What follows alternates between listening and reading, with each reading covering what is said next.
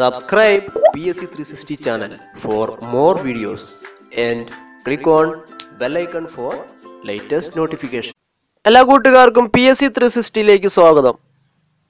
Periodic ടേബിളിലെ മൂലകങ്ങളും അവയുടെ പ്രത്യേകതകളും അടങ്ങിയ രണ്ടാം ഭാഗമാണ് ഇന്നത്തെ ക്ലാസ് പി ബ്ലോക്ക് മൂലകങ്ങൾ എഫ് ബ്ലോക്ക് മൂലകങ്ങൾ എന്നിവയുടെ പ്രത്യേകതകളാണ് ഇന്നത്തെ ക്ലാസ്സിൽ പറയാൻ പോകുന്നത്. Civil police officer woman civil police officer എന്നീ പരീക്ഷകൾ എഴുതുന്നവർക്ക് വേണ്ടിയിട്ട് ഒരു മോഡൽ എക്സാം തയ്യാറാക്കിക്കൊണ്ടിരിക്കുകയാണ്. മെയ് പതിനാലാം തീയതി തിങ്കളാഴ്ച വൈകിട്ട് പി എസ് സി ത്രീ സിക്സ്റ്റിയുടെ ചാനലിൽ അതിന്റെ ക്വസ്റ്റ്യൻസ് അപ്ലോഡ് ചെയ്യുന്നതായിരിക്കും. പി ബ്ലോക്ക് മൂലകങ്ങളിൽ ആദ്യം വരുന്നത് പതിമൂന്നാമത്തെ ഗ്രൂപ്പാണ് പതിമൂന്നാമത്തെ ഗ്രൂപ്പ് അറിയപ്പെടുന്നത് ബോറോൺ ഫാമിലി ബോറോൺ കുടുംബം എന്നാണ് പതിമൂന്നാമത്തെ ഗ്രൂപ്പ് അറിയപ്പെടുന്നത് ആദ്യത്തെ മൂലകം ബോറോൺ. ബോറോൺ സംയുക്തങ്ങളിൽ പ്രധാനപ്പെട്ടത് ബോറിക് ആസിഡ് ആണ്. ഐ ലോഷനുകളിൽ ഉപയോഗിക്കുന്നത് ഏത് സംയുക്തമാണെന്ന് ചോദ്യം വരാറുണ്ട്. അത് ബോറിക് ആസിഡ് ആണ്. അതുപോലെ ക്യാരം ബോർഡുകളിൽ പോളിഷ് ആയിട്ട് ഉപയോഗിക്കുന്ന കോമ്പൗണ്ട് പൊടി രൂപത്തിലുള്ളത് അതായത് വൈറ്റ് പൗഡർ രൂപത്തിലുള്ള ബോറിക് ആസിഡ് ആണ്. ക്യാരം ബോർഡുകളിൽ പോളിഷ് ആയിട്ട് ഉപയോഗിക്കുന്നത് ബോറിക് ആസിഡ് ആണ്. അത് പൊടി രൂപത്തിലുള്ള ബോറിക് ആസിഡ് ആണ് ഉപയോഗിക്കുന്നത്. ഇതാണ് ബോറോണിന്റെ ബോറോണിനെ കുറിച്ച് പറയാനുള്ളത്. അലുമിനിയം. പതിമൂന്നാമത്തെ മൂലകമാണ് aluminium. Aluminium most abundant metal in earth crust. അതാണ് അലുമിനിയം. ഭൂവൽക്കത്തിൽ ഏറ്റവും കൂടുതൽ കാണപ്പെടുന്ന ലോഹമാണ് അലുമിനിയം. അലുമിനിയം സിലിക്കേറ്റുകളായിട്ടാണ് ഇത് കാണപ്പെടുന്നത്. ഉദാഹരണത്തിന് കളിമണ്ണ്. കളിമണ്ണിലാണ് അലുമിനിയം സിലിക്കേറ്റിന്റെ രൂപത്തിൽ അലുമിനിയം കാണപ്പെടുന്നത്. പിന്നെ പ്രത്യേകത അലുമിനിയം ഒരു ആംഫോട്ടറിക് ആണ് അതായത് ആസിഡിന്റെയും ബേസുകളുടെയും സ്വഭാവം ഒരുപോലെ പ്രകടിപ്പിക്കുന്ന ഒരു ലോഹമാണ് അലുമിനിയം. അതുകൊണ്ട് അത് ആംഫോട്ടറിക് എന്നാണ് അറിയപ്പെടുന്നത്. ഇത് ഉപയോഗിക്കുന്നത് മേക്കിംഗ് ഓഫ് സി ഡി അതുപോലെ പാത്രങ്ങളുടെ നിർമ്മാണം. പിന്നെ അലുമിനിയത്തിന്റെ ഒരു ലോഹസങ്കരമായിട്ടുള്ള ഡ്യൂറാലുമിനാണ് വിമാനത്തിന്റെ ഭാഗങ്ങൾ നിർമ്മിക്കാനായിട്ട് ഉപയോഗിക്കുന്നത്. കാരണം അലുമിനിയം ലൈറ്റ് വെയിറ്റ് ആണ്. വെയിറ്റ് വളരെ കുറവാണ്. പിന്നെ ഇലക്ട്രിക് ലൈനുകളുടെ നിർമ്മാണത്തിന് ഉപയോഗിക്കുന്നതും അലുമിനിയമാണ്. സി ഡികൾ നിർമ്മിക്കാനായിട്ട് ഉപയോഗിക്കുന്നുണ്ട്. പിന്നെ റിഫ്ലക്റ്റിംഗ് ടെലസ്കോപ്പ് അതൊക്കെ നിർമ്മിക്കാനായിട്ട് അലുമിനിയാണ് ഉപയോഗിക്കുന്നത്. അലുമിനിയത്തിന്റെ അയിര് അതായത് ഓർ ഓഫ് അലുമിനിയം. ചോദ്യം വരാറുണ്ട് ബോക്സൈറ്റ് ആണ്. പലതവണ ആവർത്തിച്ച് ചോദിച്ചിട്ടുള്ള ഒരു ചോദ്യമാണ് അലുമിനിയത്തിന്റെ അയിര് അഥവാ ഓർ ബോക്സൈറ്റ് അടുത്തത് ഗാലിയം. ഗാലിയം എന്ന് പറയുന്നത് സാധാരണ അന്തരീക്ഷോഷ്മാവിൽ ദ്രാവകാവസ്ഥയിൽ കാണപ്പെടുന്ന ഒരു ലോഹമാണ്. ഗാലിയം എന്ന് പറയുന്നത് ദ്രാവകാവസ്ഥയിൽ കാണപ്പെടുന്ന ലോഹമാണ്. ഇരുപത്തൊമ്പത് പോയിന്റ് ഏഴ് ആറ് ഡിഗ്രി സെൽഷ്യസ് ആണ് ഇതിന്റെ മെൽറ്റിംഗ് പോയിന്റ് ആയിട്ട് വരുന്നത്. കൈവെള്ളയിലെടുത്താൽ ഉരുകുന്ന ലോഹം എന്നറിയപ്പെടുന്നതും ഗാലിയമാണ് മെന്റലീവ് പീരിയോഡിക് ടേബിൾ നിർമ്മിച്ചപ്പോൾ ഗാലിയം കണ്ടെത്തിയിട്ടുണ്ടായിരുന്നില്ല. അദ്ദേഹം അതിന് ഏക്ക അലുമിനിയം എന്ന പേര് നൽകി ഇങ്ങനെയൊരു മൂലകം കണ്ടെത്തുമെന്ന് മുൻകൂട്ടി പ്രവചിച്ചിരുന്നു.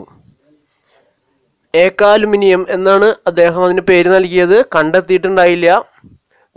മെന്റലീവ് പ്രൊഡിക്റ്റ് ചെയ്ത മൂലകം ഏതാണെന്ന് ചോദ്യം വരാറുണ്ട്. അത് ഗാലിയമാണ്. ഏക അലുമിനിയം എന്നാണ് അദ്ദേഹം പേരിട്ടത്.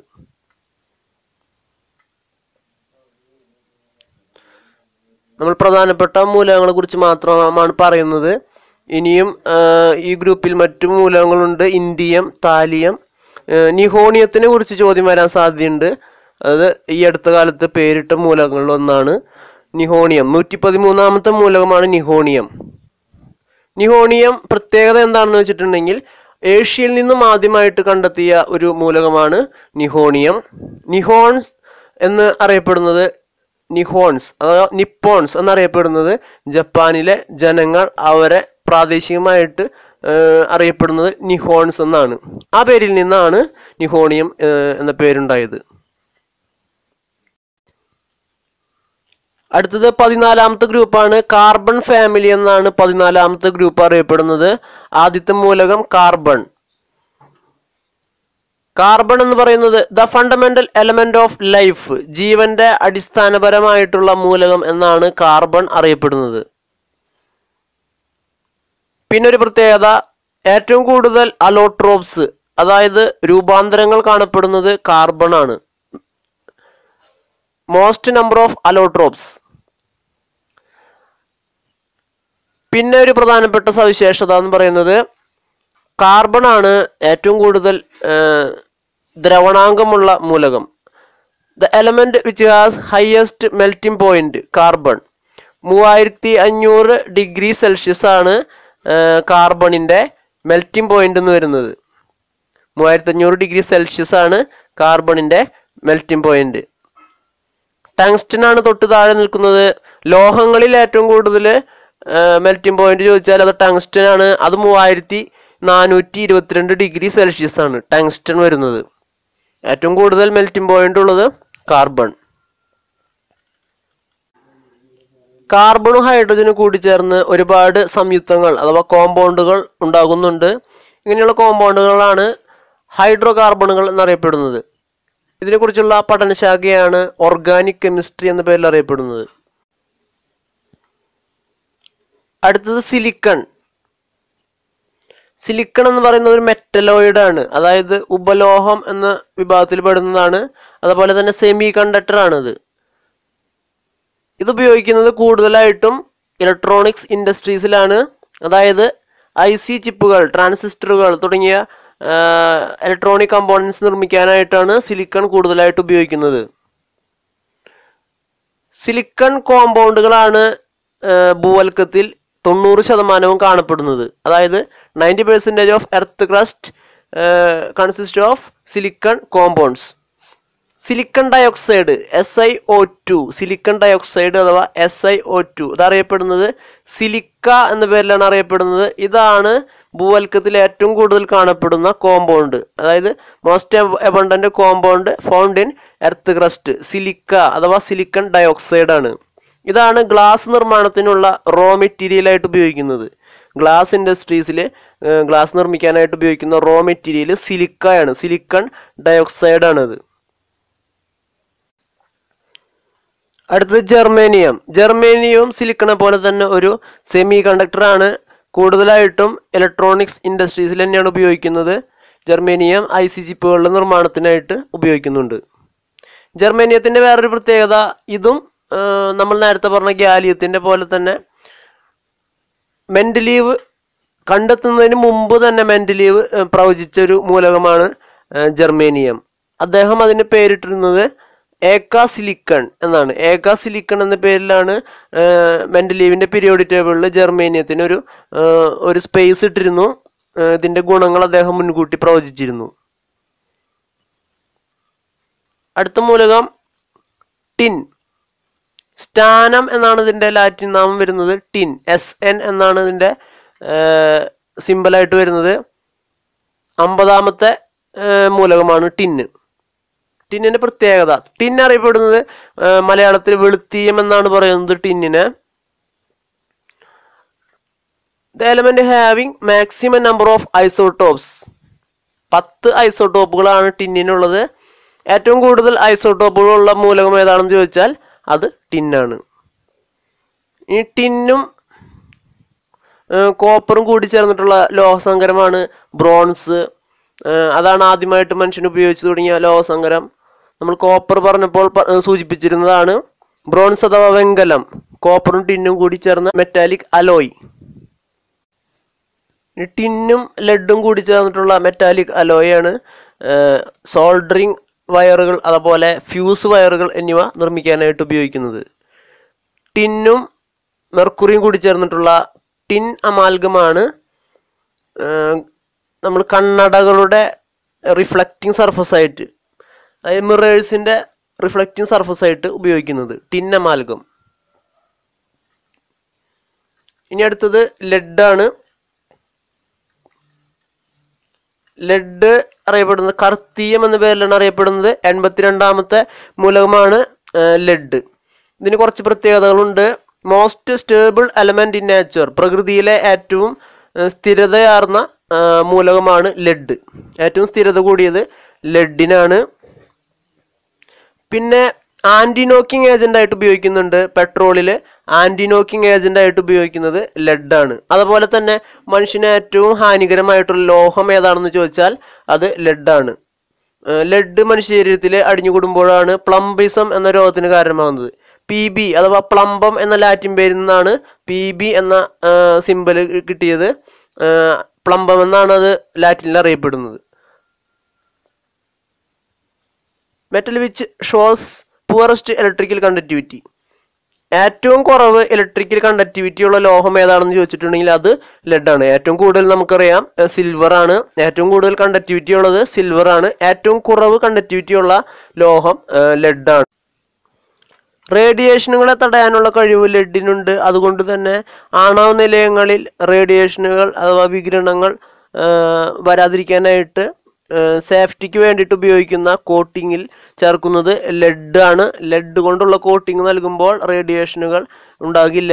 അതുപോലെ തന്നെ ഏത് റേഡിയേഷൻ ആയാലും ലേസർ ബീം പോലുള്ള ബീമുകൾ തടയുന്നതായാലും ആൽഫ വികിരണങ്ങളായാലും ഇനി മറ്റേത് തരത്തിലുള്ള റേഡിയേഷനുകളായാലും അതിനെ തടയാനുള്ള ഒരു കഴിവ് ലെഡിനുണ്ട്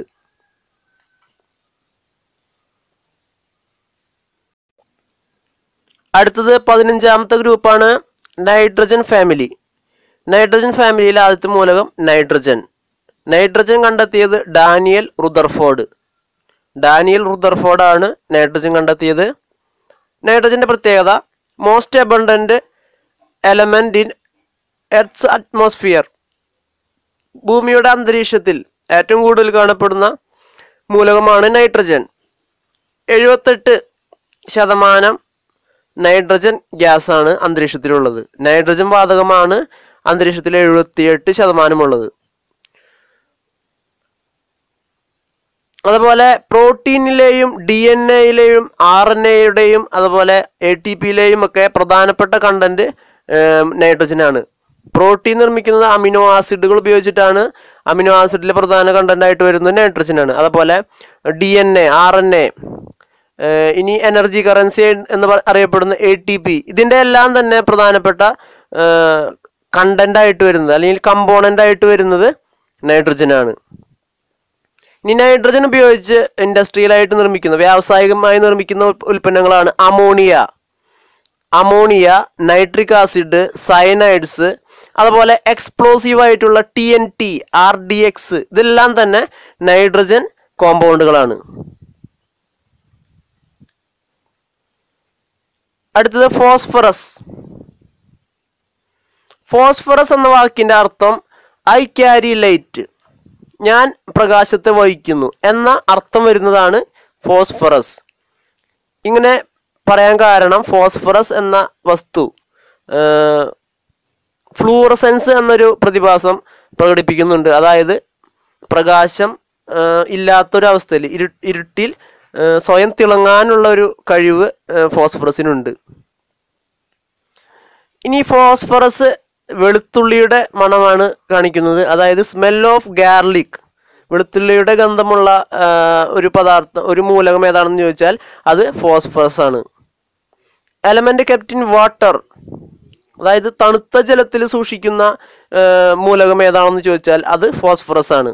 കാരണം ഇത് വായുവിൽ വെച്ചാൽ അത് കത്തുന്ന സ്വഭാവമുണ്ട്. അതായത് മുപ്പത് ഡിഗ്രി സെൽഷ്യസ് ഉണ്ടെന്നുണ്ടെങ്കിൽ അത് അറ്റ്മോസ്ഫിയറിൽ സ്വയം കത്തുന്നതാണ് ഫോസ്ഫറസ്. വെളുത്ത ഫോസ്ഫറസ്. ഇനി സേഫ്റ്റി മാച്ചസ് അഥവാ തീപ്പെട്ടിയുടെ വശങ്ങളിൽ ഉപയോഗിക്കുന്നത് റെഡ് ഫോസ്ഫറസ് ആണ്. ചുവന്ന ഫോസ്ഫറസ് ആണ് സേഫ്റ്റി മാച്ചസ് അഥവാ തീപ്പെട്ടികളിൽ വശങ്ങളിൽ ഉപയോഗിക്കുന്നത്.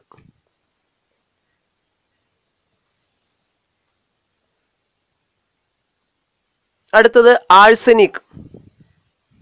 ആഴ്സനിക് ഒരു പോയിസണസ് ആയിട്ടുള്ളൊരു മൂലകമാണ്. അതായത് വിഷം വിഷമാണ്. ആഴ്സനിക് എന്ന് പറഞ്ഞാൽ ഒരു വിഷമാണ്. അതുകൊണ്ട് തന്നെ ഇതിന്റെ ഉപയോഗങ്ങളൊക്കെ ഇൻസെക്ടിസൈഡ്സ് പോയിസൺസ് അഥവാ കീടനാശിനികൾ നിർമ്മാണത്തിന് വുഡ് പ്രിസർവേറ്റീവ്സ് തടി തടികൾ കേടാവാതെ സൂക്ഷിക്കുന്ന ലായനികൾ നിർമ്മിക്കാൻ. അതിനൊക്കെയാണ് ആഴ്സനിക് പ്രധാനമായിട്ടും ഉപയോഗിക്കുന്നത്. അടുത്തത് ആന്റിമണി ആന്റിമണി എസ് ബി എന്ന പേരിലാണ് ഇതിന്റെ സിമ്പൽ വരുന്നത്. സ്റ്റിബിയം എന്ന ലാറ്റിൻ പേരിൽ നിന്നാണ് എസ് ബി എന്ന സിമ്പൽ ലഭിച്ചത്. അതാണ് ആന്റിമണി. അടുത്തത് ബിസ്മത്ത്. നൂറ്റി പതിനഞ്ചാമത്തെ മൂലകമായിട്ടുള്ള മോസ്കോവിയം. അത് രണ്ടായിരത്തി പതിനാറിൽ അവസാനമായിട്ട് പേരിട്ട നാല് മൂലകങ്ങളിൽ ഒന്നാണ് മോസ്കോവിയം നൂറ്റി പതിനഞ്ചാമത്തെ മോസ്കോവിയം റഷ്യയുടെ തലസ്ഥാനമാണ് മോസ്കോ. ആ പേരിൽ നിന്നാണ് മോസ്കോവിയം എന്ന പേര് ലഭിച്ചത്. ഇനി അടുത്തത് പതിനാറാമത്തെ ഗ്രൂപ്പാണ്. ഓക്സിജൻ ഫാമിലി അല്ലെങ്കിൽ ചാൾക്കോജൻ എന്നാണ് ഇതറിയപ്പെടുന്നത്. അതിൽ ആദ്യത്തെ മൂലകം ഓക്സിജൻ. ഓക്സിജൻ വളരെ ഇമ്പോർട്ടന്റ് ആയിട്ടുള്ളൊരു മൂലകമാണ് എൽ ഡി സി സിലബസിൽ പ്രത്യേകം സൂചിപ്പിച്ചിരുന്ന ഒരു കാര്യമാണ് ഓക്സിജൻ എന്നത്. എട്ടാമത്തെ മൂലകമാണ് പീരിയോഡിക് ടേബിൾ എട്ടാമത്തെ മൂലകമാണ് പതിനാറാമത്തെ ഗ്രൂപ്പിലെ ആദ്യത്തെ മൂലകമാണ് oxygen the gas which helps to burn substances but doesn't burn itself അതായത് കത്താൻ സഹായിക്കുന്ന വാതകമാണ് ഓക്സിജൻ പക്ഷേ അത് സ്വയം കത്തുകയില്ല. അതായത് ഇന്ധനമായിട്ട് ഉപയോഗിക്കാൻ സാധിക്കില്ല സ്വയം കത്തുകയില്ല. എന്നാൽ മറ്റുള്ള വസ്തുക്കളൊക്കെ കത്താനായിട്ട് ഓക്സിജൻ അത്യാവശ്യമാണ്. പിന്നെ ഓക്സിജൻ നമ്മുടെ ജീവന്റെ ജീവൻ നില നിൽക്കാനായിട്ട് അത്യാവശ്യമായിട്ട് വേണ്ട ഒരു വാതകമാണ് ഓക്സിജൻ. നമ്മുടെ കോശങ്ങൾക്ക് അത്യാവശ്യമായിട്ട് വേണ്ട മൂലകമാണ് ഓക്സിജൻ. അതുകൊണ്ട് തന്നെ ഓക്സിജൻ ഇല്ലാതെ നമുക്ക് ഭൂമിയിൽ ജീവന്റെ നിലനിൽപ്പിന് തന്നെ പറ്റില്ല. പിന്നെ ഓക്സിജൻ കൂടുതലായിട്ട് കാണപ്പെടുന്നത് ചോദ്യം വരാറുള്ളത് most abundant element in earth crust ഭൂവൽക്കത്തിൽ ഏറ്റവും കൂടുതൽ കാണപ്പെടുന്ന മൂലകം ഏതാണെന്ന് ചോദിക്കാറുണ്ട്. അത് ഓക്സിജൻ ആണ്. ഹ്യൂമൻ ബോഡി മനുഷ്യ ശരീരത്തിൽ ഏറ്റവും കൂടുതൽ കാണപ്പെടുന്നത് most abundant element in human body അതും ഓക്സിജൻ ആണ്. അതുപോലെ അസ്ഥികളിൽ ബോൺസിൽ ഏറ്റവും കൂടുതൽ കാണപ്പെടുന്ന മൂലകം അതും ഓക്സിജനാണ്. അന്തരീക്ഷത്തിൽ ഏറ്റവും കൂടുതൽ കാണപ്പെടുന്ന നൈട്രജൻ കഴിഞ്ഞാൽ പിന്നെ രണ്ടാം സ്ഥാനം ഓക്സിജൻ ആണുള്ളത് ഇരുപത്തൊന്ന് ശതമാനം ഓക്സിജനാണ് അന്തരീക്ഷത്തിലുള്ളത്. പ്രപഞ്ചത്തിലെ ഏറ്റവും കൂടുതലുള്ളത് ഹൈഡ്രജൻ ആണെന്ന് നമുക്കറിയാം. ഹൈഡ്രജൻ രണ്ടാം സ്ഥാനം ഹീലിയം അത് കഴിഞ്ഞാൽ മൂന്നാം സ്ഥാനമായിട്ട് വരുന്നത് ഓക്സിജൻ ആണ് പ്രപഞ്ചത്തിലെ ഏറ്റവും കൂടുതൽ കാണപ്പെടുന്ന മൂന്നാമത്തെ മൂലകമാണ് ഓക്സിജൻ. നമ്മുടെ ഭൂമിയുടെ അന്തരീക്ഷത്തിലുള്ള എഴുപത് ശതമാനം ഓക്സിജനും ലഭിക്കുന്നത് കടലിൽ അല്ലെങ്കിൽ ജലത്തിന്റെ ഉപരിതലത്തിൽ കാണപ്പെടുന്ന ഒരുതരം ആൽഗകളിൽ നിന്നാണ്. ഈ ആൽഗകൾ ഫോട്ടോസിന്തസിസ് അഥവാ പ്രകാശ സംശ്ലേഷണം വഴി പുറത്തുവിടുന്ന ഓക്സിജനാണ് അന്തരീക്ഷത്തിലെ എഴുപത് ശതമാനത്തിലധികം കാണപ്പെടുന്നത്. ഫൈറ്റോ പ്ലാങ്ക്ടൺസ് എന്നാണ് ഇത് അറിയപ്പെടുന്നത്. അതുപോലെ സസ്യങ്ങൾ ഗ്രീൻ പ്ലാന്റ്സ് അഥവാ ഹരിത സസ്യങ്ങൾ ഫോട്ടോസിന്തസിസ് അഥവാ പ്രകാശ സംശ്ലേഷണം വഴി ഓക്സിജൻ ധാരാളം പുറത്തുവിടുന്നുണ്ട്. സെക്കൻഡ് മോസ്റ്റ് ഇലക്ട്രോനേറ്റീവ് എലമെന്റ് അതായത് ഏറ്റവും കൂടുതൽ ഇലക്ട്രോനേറ്റീവ് ആയിട്ടുള്ളത് ഫ്ലൂറിൻ ആണ്. അത് കഴിഞ്ഞാൽ രണ്ടാം സ്ഥാനത്ത് വരുന്നതാണ് ഓക്സിജൻ ഇലക്ട്രോനേറ്റിവിറ്റി ഏറ്റവും കൂടിയ രണ്ടാമത്തെ മൂലകം ഏതാണെന്ന് ചോദിച്ചാൽ അത് ഓക്സിജൻ ആണ് അടുത്തത് സൾഫർ. സൾഫർ എന്ന് പറഞ്ഞിട്ടുണ്ടെങ്കിൽ അത് ഗന്ധകം എന്ന പേരിലാണ് അറിയപ്പെടുന്നത്. മലയാളത്തിൽ ഗന്ധകം എന്നാണ് പറയുന്നത് സൾഫറിനെ. Vulcanisation of rubber. റബ്ബറിന്റെ വൾക്കനൈസേഷന് ചേർക്കുന്ന മൂലകമാണ് sulphur. The element with no radioactive isotope radioactive ഐസോട്ടോപ്പുകൾ ഇല്ലാത്ത ഒരേ ഒരു മൂലകമാണ് സൾഫർ. സൾഫറിന്റെ വേറൊരു പ്രത്യേകത എനിമി ഓഫ് കോപ്പർ അഥവാ കോപ്പറിന്റെ ശത്രു എന്നറിയപ്പെടുന്നത് സൾഫറാണ് സൾഫറിന്റെ കോമ്പൗണ്ട് ആയിട്ടുള്ള sulphur dioxide S O two ഇതൊരു എയർ പൊളൂട്ടന്റ് ആണ് വായുമലിനീകരണത്തിന് കാരണമാകുന്ന ഒരു കോമ്പൗണ്ട് ആണ്. ആസിഡ് റെയിൻ അഥവാ ആസിഡ് മഴയ്ക്ക് കാരണമാകുന്ന കോമ്പൗണ്ടുകളിൽ ഒന്നാണ് സൾഫർ ഡയോക്സൈഡ്.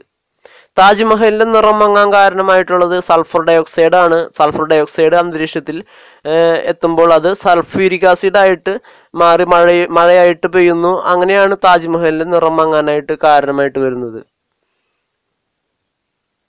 ഇനി അടുത്തത് സെലീനിയം. സെലീനിയം എന്ന പേരിൽ അറിയപ്പെടുന്ന മൂലകമാണ് ചന്ദ്രന്റെ പേരിൽ നിന്നും അതായത് മൂൺ എന്നർത്ഥമായിട്ട് വരുന്ന പദത്തിൽ നിന്നും രൂപം കൊണ്ടത് സെലീനിയമാണ് ചന്ദ്രനെ കുറിച്ചുള്ള പഠനം നമുക്കറിയാം. സെലനോളജി എന്ന പേരിലാണ് അറിയപ്പെടുന്നത്. ഇനി സെലീനിയത്തിന്റെ ഉപയോഗം നോക്കാം. ഫോട്ടോ കോപ്പി മെഷീനുകളിൽ ഫോട്ടോ കോപ്പി മെഷീനുകളിൽ ഉപയോഗിക്കുന്ന മൂലകം ഏതാണെന്ന് ചോദിച്ചാൽ അത് സെലീനിയമാണ് അതുപോലെ സോളാർ സെല്ലുകളുടെ നിർമ്മാണത്തിനും സെലീനിയം ഉപയോഗിക്കുന്നുണ്ട്. പ്രധാനമായിട്ടും ചോദ്യം വരാറുള്ളത് ഫോട്ടോ കോപ്പി മെഷീനുകളിൽ ഉപയോഗിക്കുന്ന മൂലകം ഏതാണെന്നാണ്. പി എസ് സി പരീക്ഷകളിൽ ചോദ്യം വരാറുള്ളത്. അത് സെലീനിയമാണ് ഇനി ടെലൂറിയം ഇത് ഭൂമിയുടെ പേരിൽ നിന്നും പേരിട്ട മൂലകമാണ്. ഭൂമി എന്ന അർത്ഥമായിട്ട് വരുന്ന വാക്കിൽ നിന്നും പേരിട്ട മൂലകമാണ് tellurium polonium polonium radioactive ആയിട്ടുള്ള ഇരുപത്തഞ്ചോളം ഐസോട്ടോപ്പുകൾ കാണപ്പെടുന്ന ഒരു മൂലകമാണ് പൊളോണിയം ഇത് കണ്ടെത്തിയത് മാഡം ക്യൂറി അഥവാ മേരി ക്യൂറിയാണ് പൊളോണിയം കണ്ടെത്തിയത്. മേരി ക്യൂറി കണ്ടെത്തിയ മറ്റൊരു മൂലകമാണ് റേഡിയം റേഡിയവും പൊളോണിയുമാണ് മേരി ക്യൂറി കണ്ടെത്തിയത്. മേരി ക്യൂറിയുടെ മാതൃരാജ്യമായിട്ടുള്ള പോളണ്ട് പോളണ്ടിന്റെ പേരിൽ നിന്നാണ് പൊളോണിയം എന്ന് പേരിട്ടത്.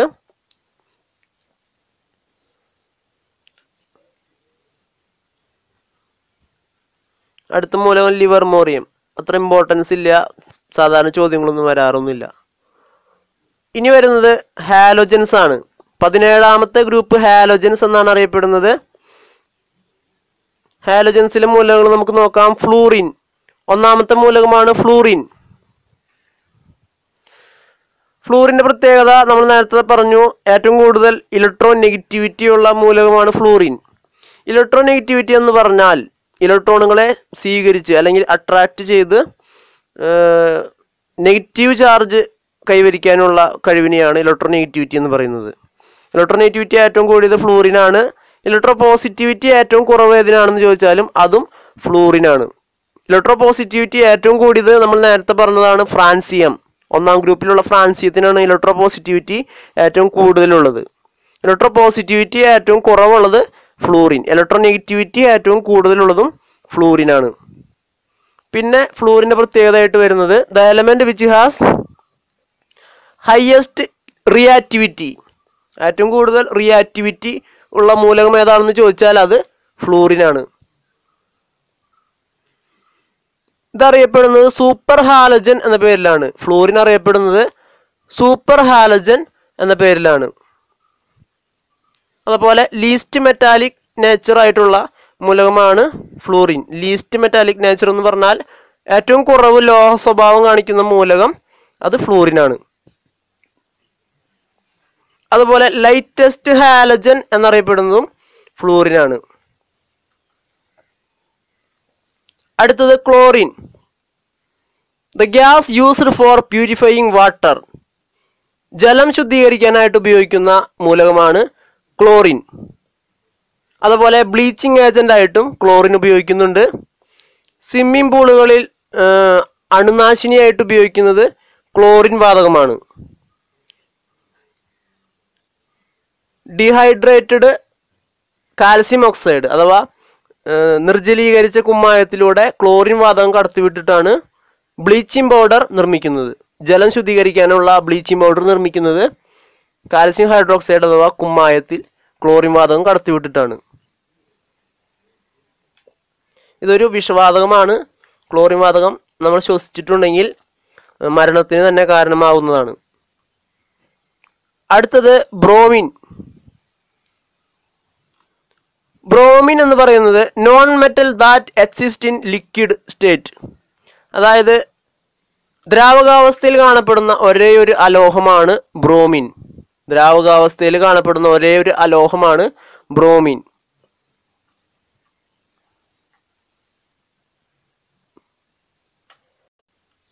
ബ്രോമിന്റെ ഒരു കോമ്പൗണ്ടാണ് സിൽവർ ബ്രോമൈഡ്. അത് ഉപയോഗിക്കുന്നത് ഫോട്ടോഗ്രാഫിക് ഫിലിമുകളിലാണ്. ഫോട്ടോഗ്രാഫിക് ഫിലിമുകളിൽ ഉപയോഗിക്കുന്ന ബ്രോമിൻ കോമ്പൗണ്ടാണ് സിൽവർ ബ്രോമൈഡ്. ഇനി iodine. The non metal which have highest density. ഏറ്റവും സാന്ദ്രത കൂടിയ അലോഹമാണ് അയോഡിൻ. സോളിഡ് ഹാലജൻ എന്നാണ് ഇത് അറിയപ്പെടുന്നത്. അയഡിൻ അറിയപ്പെടുന്നത് സോളിഡ് ഹാലജൻ എന്നാണ്. It is most abundant in seaweeds കടൽ സസ്യങ്ങളിൽ ഏറ്റവും കൂടുതൽ കാണപ്പെടുന്ന ഒരു മൂലകമാണ് അയഡിൻ. പിന്നെ നമുക്കറിയാം അയോഡിൻ അയോഡിന്റെ പോരായ്മ മൂലം തൈറോയ്ഡ് ഗ്രന്ഥിക്കുണ്ടാകുന്ന ഒരു രോഗമാണ് സിമ്പിൾ ഗോയിറ്റർ.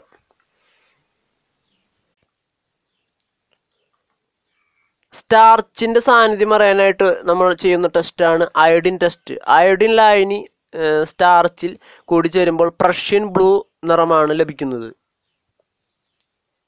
ഇനി ഖരാവസ്ഥയിലുള്ള അയോഡിൻ ഒരു പ്രത്യേകതയുണ്ട്.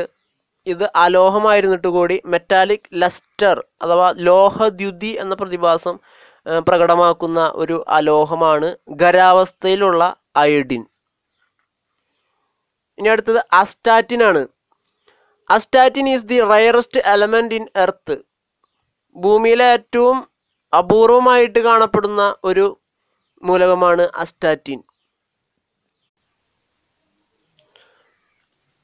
ഇനി വളരെ റയർ ആയിട്ടുള്ളതും ഏറ്റവും വില കൂടിയതുമായിട്ടുള്ള മൂലകം ഏതാണെന്ന് ചോദിച്ചാൽ അത് റോഡിയമാണ്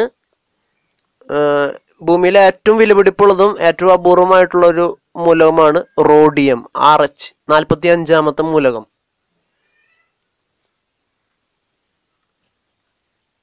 ഇനി നൂറ്റി പതിനേഴാമത്തെ മൂലകമായിട്ടുള്ള ടെന്നിസൈൻ. അവസാനമായിട്ട് പേരിട്ട നാല് മൂലകങ്ങളിൽ ഒന്നാണ് ടെന്നിസൈൻ. രണ്ടായിരത്തി പതിനാറിലാണ് ഇതിന് പേരിട്ടത്. ഇനി അടുത്ത ഗ്രൂപ്പാണ് അവസാനത്തെ ഗ്രൂപ്പ് പതിനെട്ടാമത്തെ ഗ്രൂപ്പാണ് ഇനർട്ട് ഗ്യാസസ് അഥവാ അലസവാതകങ്ങൾ എന്ന് പറയുന്നത്. നോബിൾ ഗ്യാസസ് എന്നും അറിയപ്പെടുന്നുണ്ട്. അതിലാദ്യത്തെ മൂലകം ഹീലിയമാണ്. പീരിയോഡിക് ടേബിളിലെ ഏറ്റവും ചെറിയ ആറ്റം എന്ന് ചോദിച്ചിട്ടുണ്ടെങ്കിൽ അതിന് ഉത്തരമായിട്ട് വരുന്നത് ഹീലിയമാണ്. ആറ്റോമിക് നമ്പർ രണ്ട് ഹീലിയം. പിന്നെ ഈ ഗ്രൂപ്പിലുള്ള വയലൻസി അഥവാ സംയോജകത സീറോ ആണ്. പതിനെട്ടാമത്തെ ഗ്രൂപ്പിലെ വാലൻസി എത്രയാണെന്ന് ചോദിച്ചാൽ അത് സീറോ ആണ്. The lightest gas after hydrogen അതായത് ഹൈഡ്രജൻ കഴിഞ്ഞാൽ പിന്നെ ഏറ്റവും ഭാരം കുറഞ്ഞ വാതകം ഏതാണെന്ന് ചോദിച്ചാൽ അത് ഹീലിയമാണ്. ഹീലിയൻ ബലൂണുകൾ ഹീലിയം ബലൂണുകൾ ഉപയോഗിക്കുന്നത് കാലാവസ്ഥ പഠനത്തിനായിട്ട് അയക്കുന്ന ബലൂണുകളിലാണ് ഹീലിയം ചേർക്കുന്നത്. സൂര്യന്റെ പേരിൽ നിന്നാണ് ഹീലിയം എന്ന പേര് വന്നത്. ഹീലിയം വാതകം ആദ്യമായിട്ട് കണ്ടെത്തിയത് സൂര്യന്റെ അന്തരീക്ഷത്തിലാണ്. മോസ്റ്റ് എബണ്ടന്റ് സെക്കൻഡ് എലമെന്റ് അതായത് ഏറ്റവും കൂടുതൽ സൂര്യനിലും അതുപോലെ നക്ഷത്രങ്ങളിലും പ്രപഞ്ചത്തിലും കാണപ്പെടുന്ന ഏറ്റവും കൂടുതൽ കാണപ്പെടുന്ന രണ്ടാമത്തെ മൂലകം ഏതാണെന്ന് ചോദിച്ചാൽ അത് ഹീലിയമാണ്. അടുത്ത ഇനർട്ട് ആണ് നിയോൺ നിയോൺ സാധാരണയായിട്ട് ഉപയോഗിക്കുന്നത് അഡ്വർടൈസിങ് ബോർഡുകളിൽ അഡ്വർടൈസിങ് ബോർഡുകളിലെ ലാം ലാമ്പുകളിൽ ഉപയോഗിക്കുന്നതാണ് നിയോൺ. നിയോൺ വേപ്പർ ലാമ്പുകൾ എന്നാണ് അറിയപ്പെടുന്നത്. നിയോൺ വേപ്പർ ലാമ്പുകളിലൊക്കെ ഉപയോഗിക്കുന്നത് നിയോൺ ആണ്. ഇനി ആർഗൺ. ആർഗൺ ഉപയോഗിക്കുന്നത് ഇൻകാൻസൻ ലാമ്പുകളിലാണ്. ആർഗണിന്റെ പ്രത്യേകത ഏറ്റവും കൂടുതലായിട്ട് അന്തരീക്ഷത്തിൽ കാണപ്പെടുന്ന inert gas most abundant inert gas in atmosphere അതായത് നൈട്രജനും ഓക്സിജനും കഴിഞ്ഞാൽ പിന്നെ അന്തരീക്ഷത്തിൽ ഏറ്റവും കൂടുതലുള്ള വാതകം ആർഗണാണ്. ക്രിപ്റ്റോൺ ഹിഡൻ ഗ്യാസ് എന്നാണ് അറിയപ്പെടുന്നത്. ക്രിപ്റ്റോൺ അറിയപ്പെടുന്നത് ഹിഡൻ ഗ്യാസ്. സെനോൺ. അടുത്തത് സെനോൺ ആണ് noble gas known as stranger gas. Stranger gas എന്നാണ് സെനോൺ അറിയപ്പെടുന്നത്. അടുത്തത് radon the largest and heaviest gaseous atom ഏറ്റവും വലിയ വാതക ആറ്റം എന്നറിയപ്പെടുന്നത് റഡോൺ ആണ്. അല്ലെങ്കിൽ ഏറ്റവും ഭാരം കൂടിയ വാതക ആറ്റം അത് റഡോൺ ആണ്. ഏറ്റവും വലിയ ആറ്റം നമുക്കറിയാം ഫ്രാൻസിയമാണ്. പക്ഷേ അത് ദ്രാവകാവസ്ഥയിലാണ് അതൊരു ലോഹമാണ്. ഇനി അലോഹങ്ങളിലെ ഏറ്റവും വലിയ ആറ്റം ഏതാണെന്ന് ചോദിച്ചാലും അത് റഡോൺ ആണ്.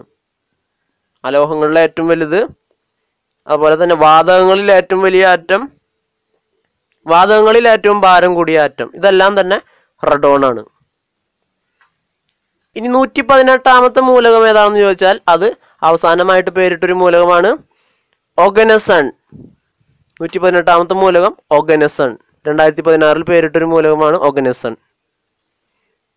ഇതാണ് പി ബ്ലോക്ക് മൂലകങ്ങളെ കുറിച്ച് പറയാനുള്ളത്. ഇനി താഴെ കാണുന്നതാണ് എഫ് ബ്ലോക്ക് മൂലകങ്ങൾ ഇതിൽ സാധാരണ ചോദ്യം വരാറുള്ളത് യുറേനിയം തൊണ്ണൂറ്റി രണ്ടാമത്തെ മൂലകമാണ് യുറേനിയം ഇതിന്റെ പ്രത്യേകത എന്താണെന്ന് വെച്ചാൽ നാച്ചുറലി എക്സിസ്റ്റ് ചെയ്യുന്നത് അതായത് പ്രകൃതിദത്തമായിട്ടുള്ള പീരിയോഡിക് ടേബിളിലെ അവസാന മൂലകമാണ് യുറേനിയം തൊണ്ണൂറ്റി രണ്ടിന് ശേഷം വരുന്ന നെപ്റ്റ്യൂണിയം പ്ലൂട്ടോണിയം തുടങ്ങിയവയൊക്കെ സിന്തറ്റിക് എലമെന്റ്സ് ആണ് അഥവാ മനുഷ്യനിർമ്മിതമാണ്. അതറിയപ്പെടുന്നത് ട്രാൻസ് യുറാനിക് എലമെന്റ്സ് എന്നാണ്. യുറേനിയത്തിന് ശേഷം വരുന്ന മൂലകങ്ങൾ ട്രാൻസ് യുറാനിക് എലമെന്റ്സ് എന്നാണ് അറിയപ്പെടുന്നത്. അതുപോലെ വേറൊരു പ്രത്യേകത ഏറ്റവും ആറ്റോമിക് ഭാരം കൂടിയത് യുറേനിയത്തിനാണ് ആറ്റോമിക് മാസം ഏറ്റവും കൂടിയ മൂലകം യുറേനിയമാണ്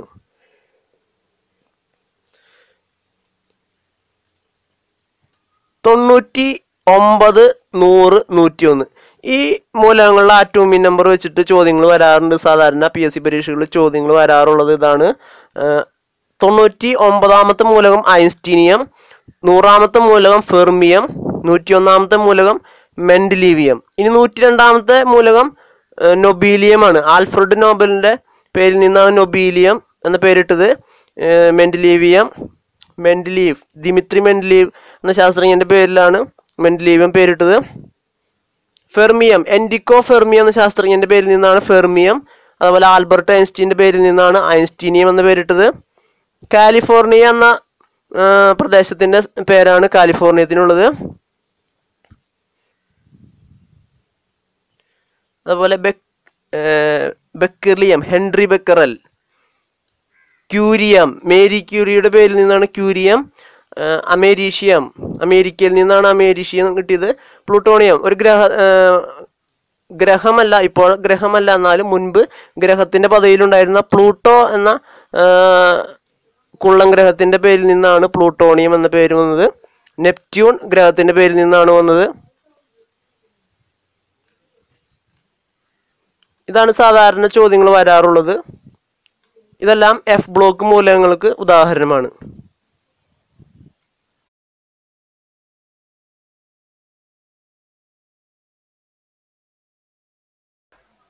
നിങ്ങൾ ആദ്യമായിട്ടാണ് പി എസ് സി ത്രീ സിക്സ്റ്റിയുടെ ഈ വീഡിയോ കാണുന്നതെങ്കിൽ തീർച്ചയായിട്ടും ചാനൽ സബ്സ്ക്രൈബ് ചെയ്യുക.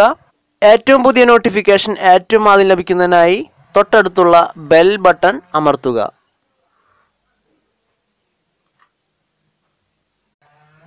ഇന്നത്തെ ക്ലാസ് നിങ്ങൾക്ക് ഇഷ്ടപ്പെട്ടെങ്കിൽ ലൈക്ക് ചെയ്യുക.